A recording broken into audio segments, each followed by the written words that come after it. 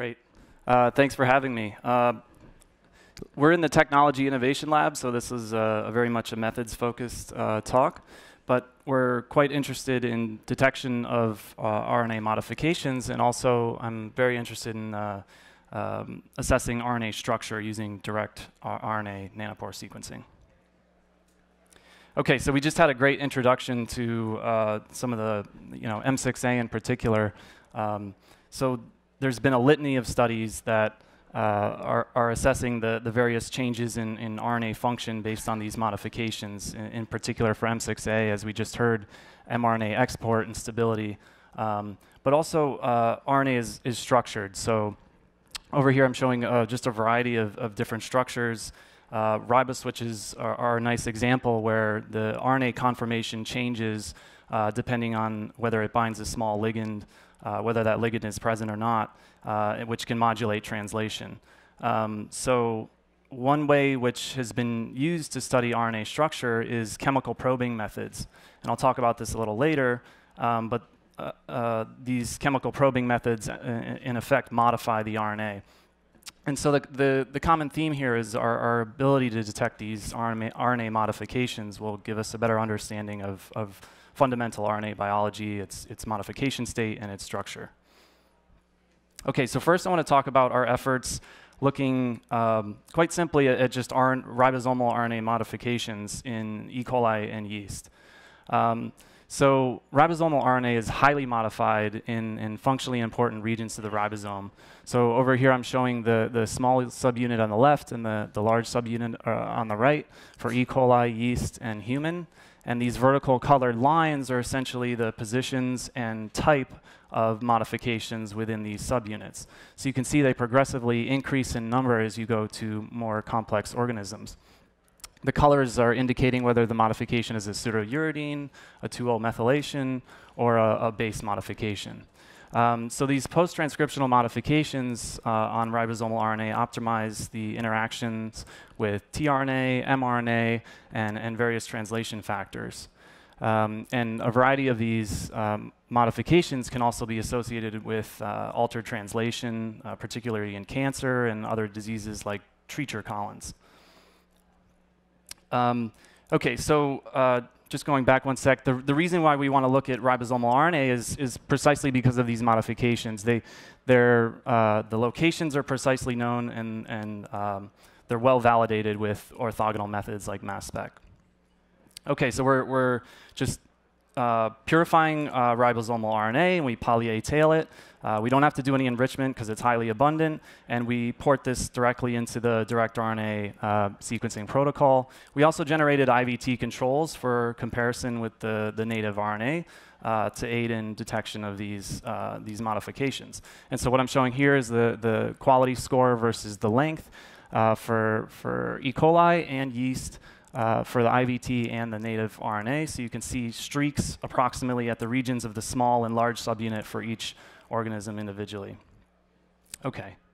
Um, so the tool we use is, is Tombo, and we use this, this tool to uh, take our raw signal and align it to our in vitro transcribed controls. And we look for signal perturbation between the two samples. Uh, and I'm showing in, in this uh, Tombo plot here an example of uh, position 1402, uh, which is a dimethyl uh, cytosine, which I'll, I'll return to in a, in a, few slides. But you see for the, for the native uh, ribosomal RNA, there's a perturbation at that site. And just a little bit further downstream, there's an M- M5C, which the, the signal is, is not so well localized there, kind of highlighting the challenges associated with detection of these modifications. Sometimes you don't always get the signal perturbation at the expected site. Um, now, something else that we, we were really interested uh, to look at and, and find is that the dwell times um, for these molecules can be perturbed by modifications as well. So what, uh, what I'm plotting here on the right is uh, the native uh, mean dwell time as a function of position for the small subunit, um, and, and also the IVT in orange. And you can see where, I, where I've starred there, there's a large change uh, precisely at 14, position 1412 which is interestingly uh, 10 nucleotides away from this dimethyl uh, cytosine modification. Um, I'll, I'll, get back to that in a little bit, but we wanted to show that we could look at all of these modifications uh, in, in the small and large subunit for both E. coli and yeast. And uh, so basically we do a, a, statistical test, a KS test, um, and we perform this across all these positions. Again, I'm showing the, the modification sites and their class as vertical colored lines, whether it's a base, 2-O-methyl, or pseudouridine. And we perform this using uh, both Tombo and nanopolish. And you can see the peaks in this KS uh, profile correspond very well with, with the known locations of these modifications uh, for the current and for the dwell time as well. But we wanted to look a little bit closely, uh, closer, and so we, we extracted these um, uh, site-specific KS profiles and averaged them and aligned them across different uh, modification classes. Again, the base, uh, 2-O-methyl, and pseudouridine, which are the colors in these graphs.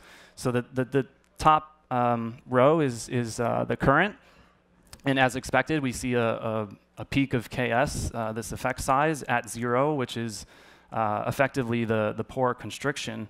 And interestingly, when we look at the dwell times, uh, we see a, a, somewhat smaller peak at, at the, uh, uh the constriction of the pore as well, but we see uh, secondary peaks 10 nucleotides away, uh, and we see this both with Tombo and nanopolish. Um, and uh, to a degree, the base modifications are not well detected 10 nucleotides away, but the 2-O-methyl uh, and the pseudouridine modifications are. So what, what does this 10 nucleotides mean? What is, what's going on here? Uh, effectively, this is the distance between the nanopore constriction and the motor protein active site, is what I'm calling it. Essentially, this is uh, this, the site within the motor protein that's sensitive to these types of modifications. Um, so this is interesting. We can detect certain types of modifications with dwell times alone, um, but I do want to have a, add a caveat here is that for completely unmodified RNAs, in vitro transcribed, uh, there's also dwell time specific effects on sequence alone. So here I'm ranking the, um, the sequence content of a small trimer within the, the motor protein active site. And effectively, we see that uh, for the highest dwell time percentiles, they're enriched for G residues, uh, uh, signifying to us that potentially there's steric effects that uh, increased dwell times or uh, single-stranded stacking between uh, these uh, purine residues, which, which increase the dwell time as well. So there's uh, some caution, cautionary note there. Okay, so coming back to this 1402 modification, this is really interesting to us because in E. coli, uh, this, this modification actually is completed through a process of two different enzymatic events. RS, RSMH, which adds the base methylation, and RSMI, which adds the 2, two, uh, 2O sugar uh, methylation. Um, and so we, we actually see these uh, intermediate steps if we plot the single molecule standard uh, deviation of the current versus the current. That's what I'm showing here in these density plots. In blue is the uh, in vitro transcribed uh, molecule, and, in, and then in orange and red is the, uh, the native. So this is very interesting. This is also known to be a late modification in the 3' prime domain. So it's, it's interesting that we see, uh, even in the native sample, some completely unmodified C residues followed by a monomethylated state. We can't really tell apart whether it's the base or the, or the 2O uh, methylation. And then finally, the, the most prevalent modification is the full complete dimethyl, dimethyl modification. Okay, so now I'll talk about uh, our, our efforts uh, to detect RNA structure using nanopore sequencing. So like I said earlier, um, we use chemical probing methods to look at this. Uh, traditionally, how this is done with uh, short read approaches is through a technique called shape map, which is, uh, so stands for selective 2' hydroxyl acylation analyzed by primer extension.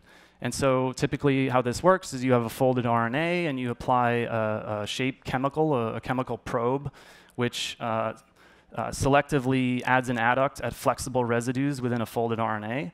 And then typically RT is performed in the presence of manganese, and mutations are introduced in the corresponding cDNA at positions of shape adducts within the RNA. Uh, you can generate a library and sequence this and do mutation counting to get a shape profile, which can then be used to inform bioinformatic RNA folding algorithms. So this is a great technique and has generally worked uh, fairly well, but there's a few drawbacks. It's a bulk technique, so we're averaging over a, large population of single molecules. It's uh, challenging to ascertain long, long-range structural information. And there's also RT bias uh, in, in this process, and as a result, the mutational efficiency is, is low. Um, so we initially had tried some, some common shape probes uh, in direct RNA uh, nanopore experiments, and we did not have a lot of luck. Uh, so we kind of went back to the drawing board and have to, had to look for other putative probes that we could use that maybe uh, the, the, reason why we didn't have a lot of luck was because we weren't getting full full length reads. The yield was much lower, um, so we had to kind of go back and, and see if there were other alternative probes um, that might work. And the reason why we thought they didn't work is because, uh, in general, the standard shape probes have a large, bulky adduct that's added to the 2' hydroxyl. Um, and so what we came up with is, is uh, we, we identified this chemical 1AI, which is one, a, no a novel shape probe, which I'll show, but also has a much smaller adduct. So it's essentially just an acetyl group that gets added onto the ribose sugar. Um, and so we validated this by doing shape map bulk short read sequencing on uh, 16S and 23S. It also permeates cells uh, membrane and nuclei. So we probed the structure of UN uh, spliceosomal complex. You can see here there's a, a, decent correlation between that and NAI, which is another well-known um, cell permeable probe. Okay, so uh, we call this method nanoshape. So we're using this, this new chemical and essentially we just apply it to a folded RNA and poly A tail uh, uh, the RNA and, and, port this through the standard direct RNA protocol uh, for nanopore sequencing. And in this case, all we've done so far is, is a test construct, which here is a microRNA cluster, which is a fairly simple structure of, of uh, six or seven or so uh, hairpins. Um, so it's a nice uh, construct that we can in vitro transcribe to, to demonstrate the method, and it has a fairly well-known simple structure.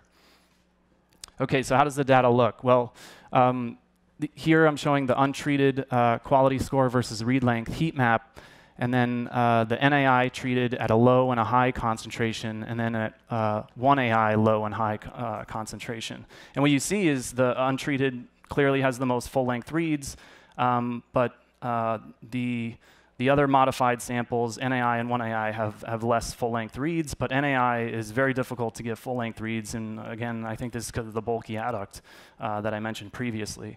Whereas with 1AI, we get um, more uh, full-length reads and generally um, uh, higher quality. Now, it's interesting that we, we see for the 1AI samples a slight shift in the, in the time it takes for the, the RNA to transit through the pore, so that again, this is um, indicative of uh, dwell, dwell time effects. So we see stalling. Um, if you take the positional, uh, the dwell time um, profile as a function of position and do a cross correlation with the shape map profile, um, again, we see this 10 nucleotide offset uh, in this cross correlation for both of our samples, indicating that it is, again, the motor protein that's hitting these modification sites and stalling uh, very slightly as it transits through the pore. Okay, so we, we use these, um, uh, these dwell times to reconstruct uh, the, the, the, RNA structure, and we can compare them between uh, our method nanoshape uh, to, to map. And the agreement is fairly good. So in gray, I'm showing predicted contacts based on the, um, uh, in gray is the shared contacts between uh, the bulk map and the nanopore data. In uh, contacts unique to the, the, mutational profiling are in green, and purple is for uh, uh, nanoshape. So here you can see the, the, the hairpin structures are fairly, fairly well formed, and we see high reactivity in the, in the loop regions and in um, uh, some of the internal bulges as we would expect. All right, so that's where we're at. Um, uh, as for the, the ribosomal arm, uh, RNA modifications, we observe that we, you know, these 2-O-methyl modifications can generate pause profiles, uh, distance, the registration distance from the pore constriction, uh, and also we can see uh, substoichiometric modifications. And for nanoshape, we've identified this new chemical, um, which is not only a shape map reagent, so for bulk experiments, but also shown that it can work in uh, uh, direct RNA nanopore sequencing experiments. And so with that, I'll uh, end and thank the, a lot of the people who helped with this work, and uh, I'll take any questions if you have it.